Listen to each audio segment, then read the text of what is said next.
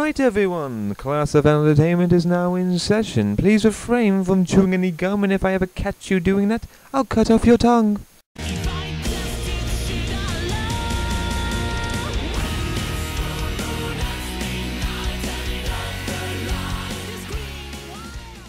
Let's be honest here, not a lot of people really like their time in school, but we all know we had to go there to get a basic education. It's not like this topic's been ranted to de- Oh, shit. Well then, let's see if this new rant can bring something new to the table. Hey guys, it's Acacia, and I finally got a fisheye lens. It was supposed to come way earlier than this, but it came today, and I'm so happy. So let's just get to the main point of this video. Can I just say we've only been 11 seconds into this video, and already I've seen more edits in this than there is in a YouTube poop.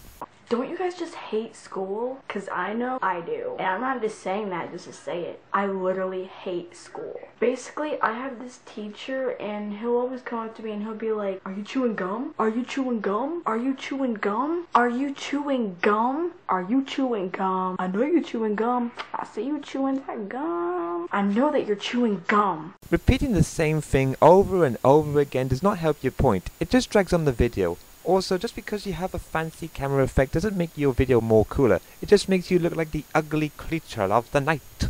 Like, dude, calm your tits. I'm not chewing gum. But then when I am chewing gum, he never catches me. You think I'm slack. Well, and if you are chewing gum in class, then your teacher must have noticed at some point, which is why he's constantly asking you if you are chewing gum. So no, you're not really that slick. When you have to wake up really early. I mean, I guess they think if you wake up early, it'll make your brain function better. But it actually doesn't because all you're thinking about is sleeping. Ugh. Well, at least that's all I'm thinking about. You know, you also need to get up early for, you know, your job. It could be argued that the early times of school are preparations for getting up early to go to your job. When you get in trouble for talking back to the teacher even though you're just standing up for yourself. I mean, yeah, yeah, yeah, I understand. Disrespect, disrespect. But I mean, if the teacher's gonna accuse you for something that you didn't do, don't you think that you're gonna stand up for yourself? Because I know I will. Even if I do get in trouble for it, it's worth it.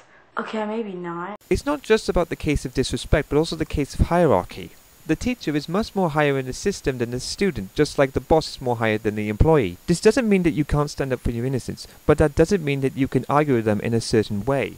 When the teacher says that you can't eat in class, but then she pulls out her candy bar and eats right in front of you. Something kind of like this. It's okay. I'm like, it's okay. I'm I'm a teacher, so it's fine. It's okay. I I hate it. Yeah, I can I can yeah.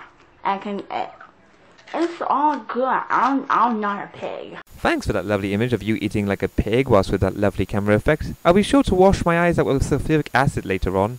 When the teachers take your phone away. Yeah, yeah, yeah. I mean, come on. My phone is my life, and I'm pretty sure I don't want your crusty hands all over it. Uh, yeah, hi. Oh, oh, no microphone. Um, basically, um, this is what you could do with your phone. By the way, this is mine. Um, it's called um, turning it off, putting it on mute, or putting it away. Now, last time when my teacher took away my phone, I cried. Yeah, yeah, yeah. Don't make fun of me. You cried when your teacher took away your phone. I think if it died, you'll probably consider yourself a widow.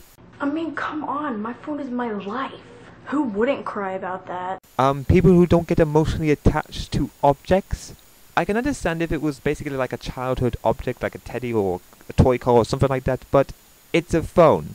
I doubt if you had that same phone when you were two years old. When you get in trouble and you ask, What did I do? and the teacher won't even give you an answer. They're all like, Just go to the principal's office. Just go. And I'm all like, Now, I asked you for an answer, so you better reply to me because I'm not just gonna sit here and be yelled at for no apparent reason. I would like to have a reason before you yell at me. Maybe it's because that you were too ignorant to notice that what you were doing was wrong. Judging by how you act in this video, I really would want to kick you out of my class.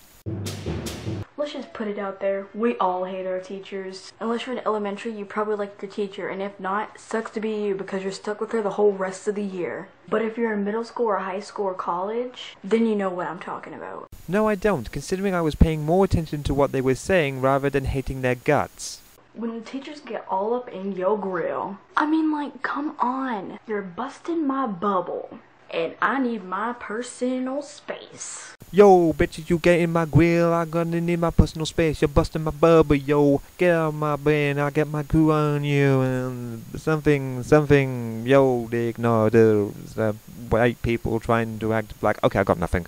Now I know in some schools you're not allowed to wear these bracelets. To be honest, I really don't get why. I mean, we're just supporting breast cancer. Like, come on. Granted, it might be for a good cause, it also has the words boobies on it, which could be seen in an immature manner. And considering that school is not about immaturity but about education, then it can be seen why the school would want to ban those sort of bracelets. The way some kids act. Either you're very immature or you just get on my nerves, period. And also when students try to act funny even though they're not. Like when people try to act funny and gangster in YouTube videos ranting about schools. Isn't that ironic? Now that was all for today's video. Now if you agree with any of these, give this video a thumbs up and make sure to comment and subscribe.